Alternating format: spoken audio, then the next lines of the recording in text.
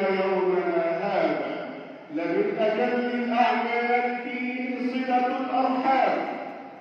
قد تقربوا إلى الله تعالى بفعل الخير مع الرحم.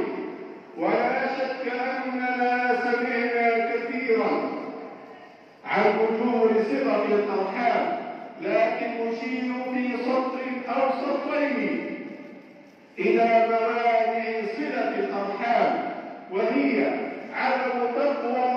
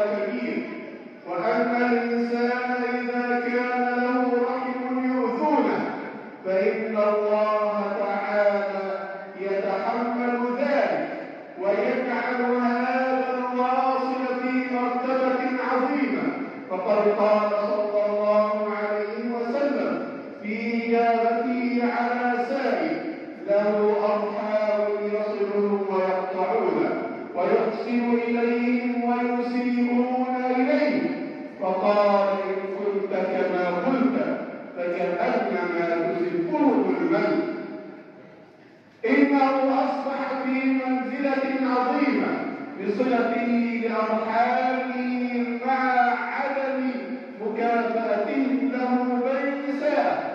وكذلك إذا أعطاهم شيء فإنهم إن أكلوا منه فكأنما يأكلون رمادا حارا يحرق في بطونهم جزاء لإساءتهم للواصل وبين صلى الله عليه وسلم ليس الواصل بالمكافئ ولكن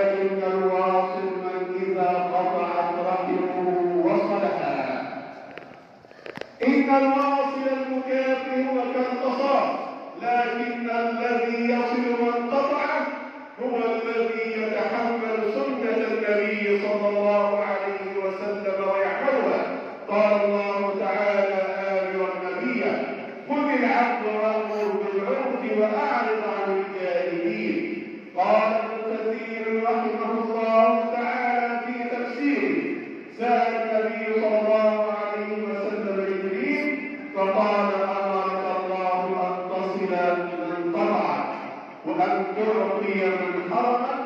أن تحسن إلى من أساء إليك.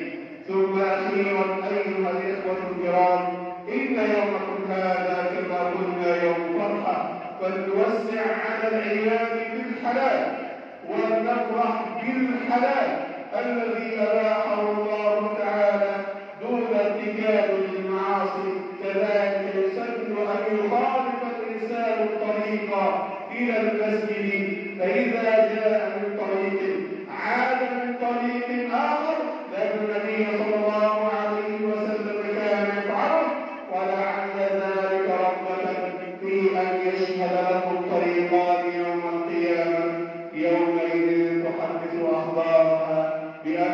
محمد على